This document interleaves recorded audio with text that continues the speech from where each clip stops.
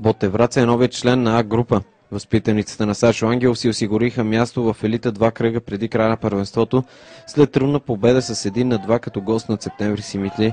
Матчът започна много добре за врачани в 14-та минута Ценовски открадна една топка и с хубав удар откри резултата.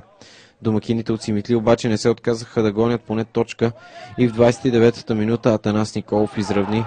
В 31-та вратарят на Ботев Цанков хвана с ръка една топка на границата на наказателното поле и реферът Мартин Богдев отсъди нарушение и показа директен червен картон на стража на гостите. Така с човек по-малко през втората част футболистите в зелено се прибраха в своята половина и чакаха удобен момент за контратак.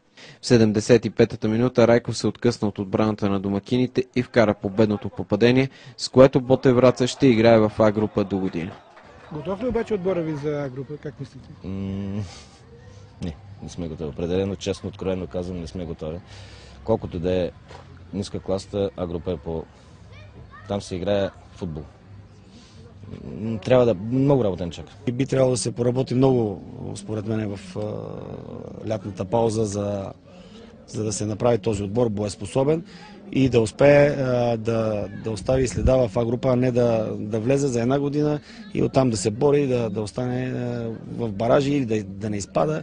Просто има много работа още по този отбор.